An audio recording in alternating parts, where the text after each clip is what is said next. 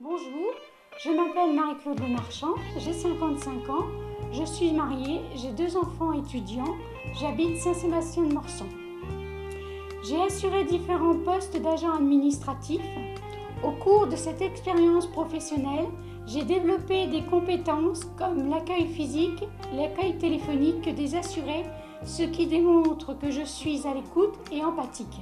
Par ailleurs, cette fonction demande d'autres qualités comme l'amabilité, la discrétion, la confidentialité, qualité bien sûr que je possède. Je suis également concentrée et organisée dans mon travail car j'ai eu la responsabilité du courrier. Ma fonction consistait à gérer les dossiers des assurés sociaux de A à Z, aussi bien de manière manuelle qu'informatique. Pour cela, j'ai fait preuve de dextérité, de méthode et de rigueur.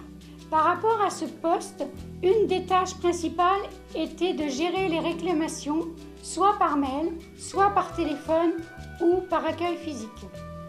Ce qui prouve que je suis capable de patience, de dissociation et de compréhension. C'est pourquoi aujourd'hui, mon objectif est de retrouver un poste d'agent d'accueil et ou assistant administratif.